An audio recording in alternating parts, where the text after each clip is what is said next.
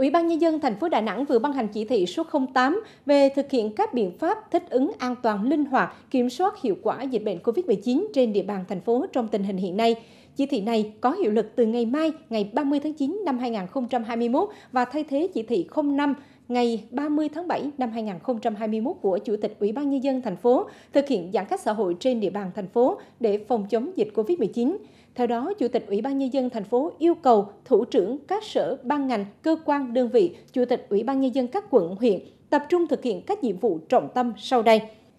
tiếp tục quán triệt quan điểm phường xã, khu phố, tổ dân phố là pháo đài, người dân là trung tâm, chủ thể quyết định thành công trong phòng chống dịch. Đặc biệt, quán triệt và tổ chức thực hiện có hiệu quả 6 nguyên tắc thích ứng an toàn, linh hoạt, kiểm soát hiệu quả dịch bệnh COVID-19 của Thủ tướng Chính phủ chỉ đạo.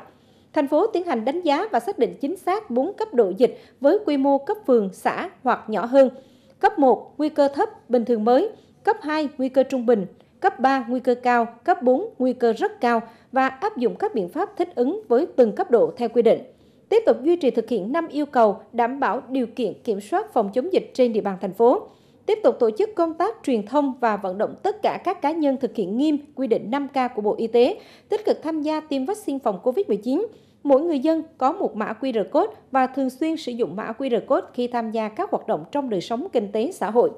từng bước mở lại các hoạt động xã hội để khôi phục và đẩy mạnh các hoạt động sản xuất kinh doanh, dịch vụ, lưu thông hàng hóa, tổ chức dạy và học với những biện pháp đảm bảo an toàn phòng chống dịch theo quy định. Triệt để ứng dụng dữ liệu và công nghệ số đồng bộ trong phòng chống dịch trên toàn địa bàn thành phố, tiếp tục đảm bảo an sinh xã hội, đảm bảo việc cung ứng lương thực thực phẩm, hàng hóa thiết yếu phục vụ đời sống sinh hoạt của người dân tại vùng cách ly y tế, tiếp tục thực hiện tốt các chính sách, giải pháp hỗ trợ người dân, doanh nghiệp khắc phục hậu quả COVID-19, kiện toàn tăng cường hiệu quả hoạt động của các tổ COVID-19 cộng đồng trong việc quản lý chặt chẽ việc chấp hành các quy định phòng chống dịch từ khu dân cư, tổ dân phố đến hộ gia đình xử lý nghiêm các hành vi vi phạm, xử lý trách nhiệm người đứng đầu các cơ quan đơn vị tổ chức địa phương nếu không xây dựng phương án phòng chống dịch và để xảy ra vi phạm do chủ quan lơ là, thiếu trách nhiệm trong công tác phòng chống dịch COVID-19.